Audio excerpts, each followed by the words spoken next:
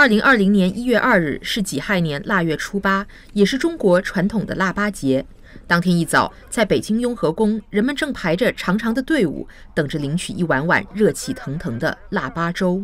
一百多桶材料是就是一个星期之前就给准备了，啊，有这个我们准备完了以后，昨天开始熬的。腊八节是一个祭祀祖先和神灵、祈求丰收和吉祥的节日。在中国，有腊八节喝腊八粥、制作腊八蒜等习俗。腊八粥起源于腊月祭祀活动，被认为具有驱赶瘟疫邪恶的功能。而雍和宫的施粥活动从清朝便开始，每年腊八节，八方信众会齐聚雍和宫吃粥，以求吉祥平安。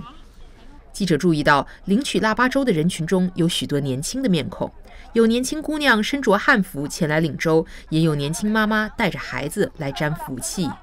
我今天来这边就是。给孩子领了腊八粥，然后也想沾沾福气，新年嘛，新气象。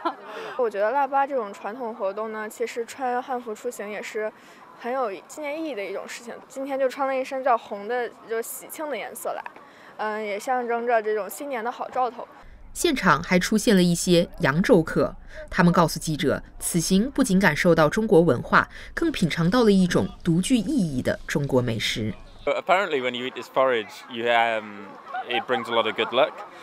And from the taste of it, I can feel the good luck already every time I have another taste. I think that's really cool and it's a good opportunity and it's a good way to start a new year.